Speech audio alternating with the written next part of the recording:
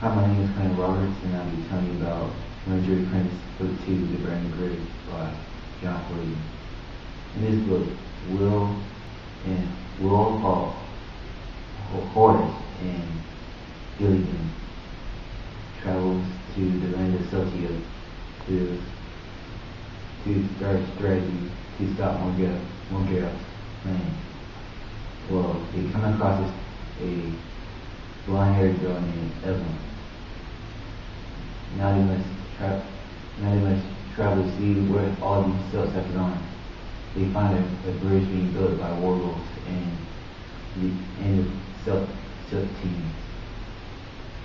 So they spy on the Wargals and the Celtians, and they find out that Skandians have been involved in this kind too.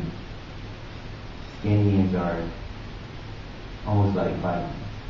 So, as the story progresses, we find out that Will must, Will stay, Will and Evanlyn stay behind to burn this, bridge. They end up being captured by war Wargals. Horace and Gilligan goes back to Araluen, and they must, they face more, and Horace faces Morgarath in battle, in single, single hand combat.